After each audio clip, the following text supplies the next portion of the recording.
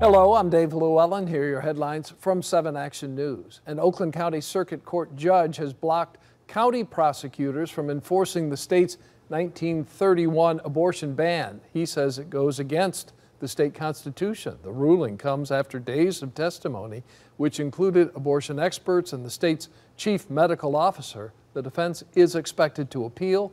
Voters may have the final say. An abortion rights campaign submitted signatures to have an initiative added to the November ballot.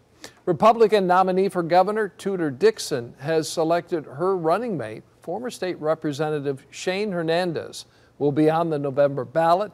He spent four years in Lansing representing District 83, which covers part of St. Clair County in Michigan's thumb. He was born in Port Huron. He also chaired the House Appropriations Committee Dixon and Hernandez will face Governor Gretchen Whitmer and Lieutenant Governor Garlin Gilchrist in November.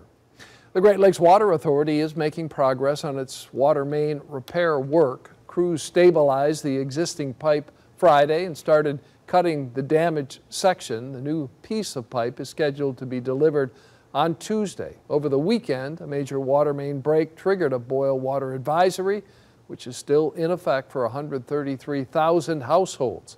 The new equipment is expected to be up and running on September the 3rd. Here's meteorologist Mike Taylor now with a check of your 7 First Alert forecast. Thanks, Dave. Looks pretty good for the rest of this evening into tonight, but tomorrow it gets interesting for the weekend. We'll have some afternoon showers and thunderstorms around. Same thing for Sunday.